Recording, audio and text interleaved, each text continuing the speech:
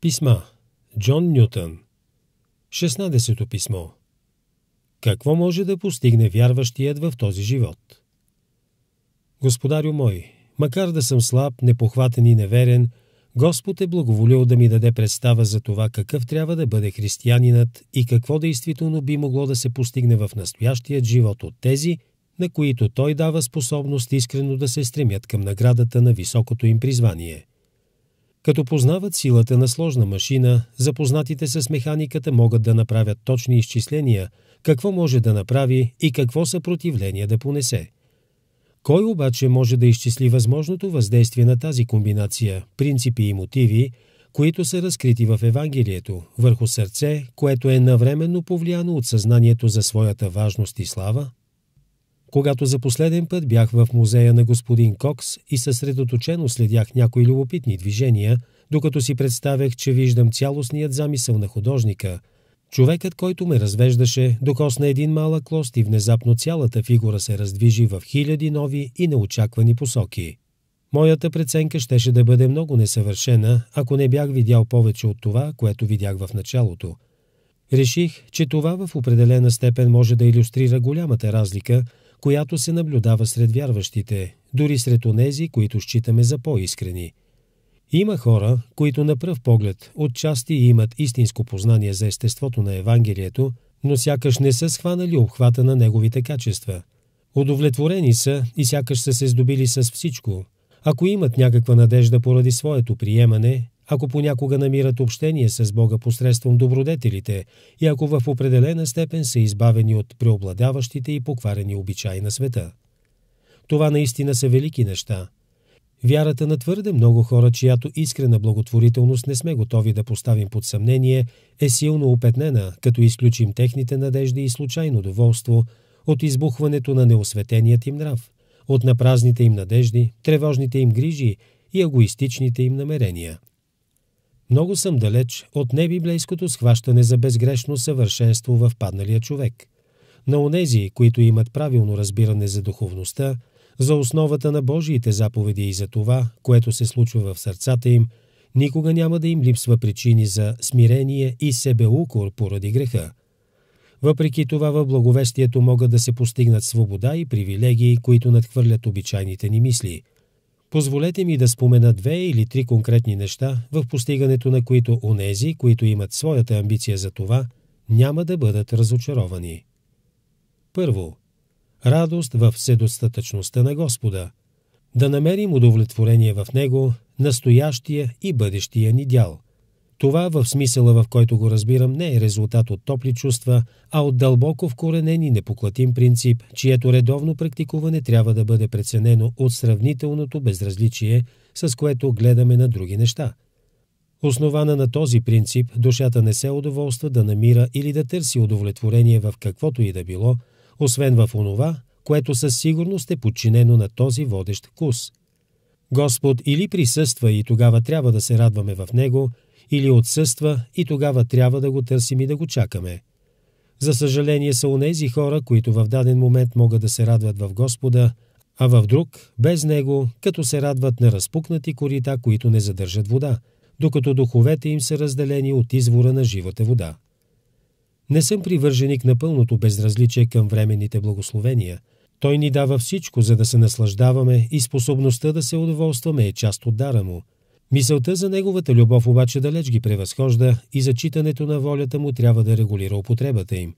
Също така те не могат да ни предоставят онова, което единствено той може да ни даде. По подобен начин този принцип смекчава прекомерният страх и тъга, към които сме склонни при мисълта или при появата на големи изпитания, за които имаме подсигурени подкрепа и ресурси в вседостатъчността на вечната добрина и благодат. Каква привилегия само да притежаваме Бога във всички неща, докато ги имаме, и всички неща в Бога, когато бъдат отнети от нас. Второ. Съгласие с Божията воля, което се основава на увереност в Неговата мъдрост, святост, суверенност и доброта. Това е една от най-големите привилегии и ярки орнаменти на нашата вяра. Докато се придържаме към това, със сигурност няма да се разочароваме – Нашите ограничени лични възгледи, късогледи цели и желания често са и ще бъдат отхвърляни. Тогава нашето основно и водещо желание, Господната воля да бъде изпълнена, трябва да бъде удовлетворено.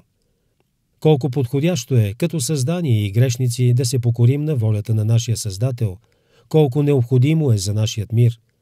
Често не се замисляме и пропускаме това постижение. Склонни сме да приковаваме вниманието си към вторични причини и непосредствени събития, като забравяме, че каквото и да ни се случи е съобразно неговата цел. Следователно, трябва да бъде правилно и навременно само по себе си и в крайна сметка ще произведе добро. От тук се пораждат нетърпение, негодование и тайно роптание, които са не само грях, но ни измъчват. Когато от друга страна знаем, че всичко е в неговата ръка, ако космите на главата ни са преброени, ако всяко събитие, било то голямо или малко, е под напъствието на неговият промисъл, и ако целта му, на която всичко е подчинено и за чието изпълнение всичко спомага, е мъдра, свята и благодатна – тогава не ни остава нищо друго, освен с търпение и смирение да го следваме и с радост да очакваме щастлива развръзка. Пътеката на настоящият ни дълг е очертана и грижата за следващия и за всеки идващ час е в неговите ръце. Колко щастливи са онези, които могат да предадат всичко на него, да виждат намесата му във всяка ситуация и да вярват, че той избира най-доброто за тях, по-добре, отколкото самите те биха могли да изберат. Трето. Целенасочен поглед към Неговата слава като крайна цел на всичко, което правим. Господ не прави нищо, което да не е за Негова прослава.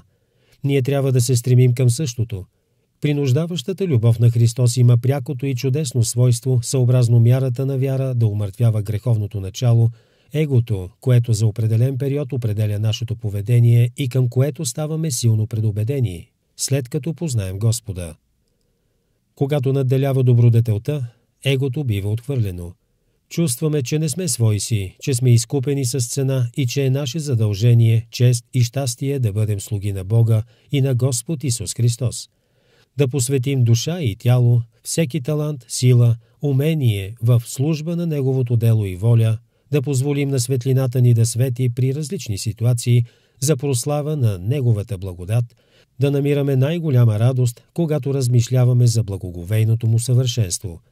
Да се радваме дори в изпитания и трудности, в укори и болести, ако посред тях Божията сила може да почива върху нас и да бъде изявена чрез нас. Да бъдем удовлетворени, да, радостни, когато сме нищо, за да може Той да бъде всичко, да сме му покорни въпреки заплахите и мнението на околните – да оповаваме на Него, макар всичко наоколо да е против нас – да се радваме в Него, макар рано или късно да не ни остане никаква друга радост. Да живеем над света и да разговаряме с небето, да бъдем като ангелите и да намираме удоволствие единствено когато вършим волята Му. Това, Господарю мой, е наградата, целта на нашето горно призвание, към която сме насърчени със свята амбиция да продължаваме да се стремим. Истина е, че въпреки това ще падаме. Ще открием, че когато искаме да вършим добро – Злото ни изпреварва. Славно е обаче да опитваме и опитите ни няма да са изцяло на празни. Този, който ни дава това желание, ще ни направи способни да го изпълним с нарастващ успех и ще ни научи да печелим дори от нашите грешки и несъвършенство.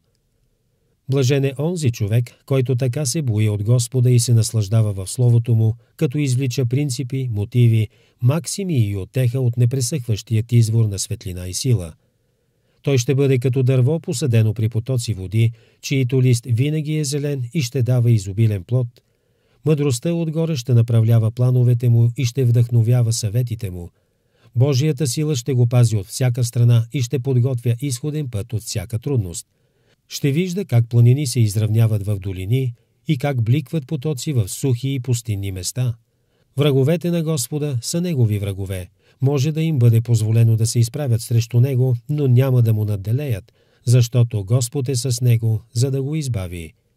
Поведението на този човек, макар в скромна и отделна сфера на живота, е по-превъзходно и важно от най-прекрасните действия на царе и завоеватели, които запълват аналите на историята, както четем в притчи, глава 16, стих 32.